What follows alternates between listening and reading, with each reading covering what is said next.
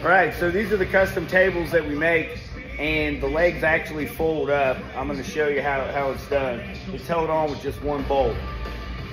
This will be a gold mine of local intel, just you wait. So tell us about this corn. Basically that right You there. got your corn pudding, you got your corn chowder. So is it safe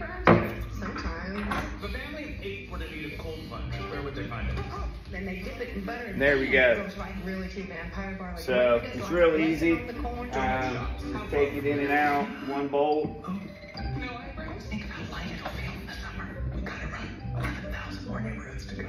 Ding dong. Homes.com. Some people just know that the best way There we go. So I hope you like our tables. Subscribe to us. Have a great day.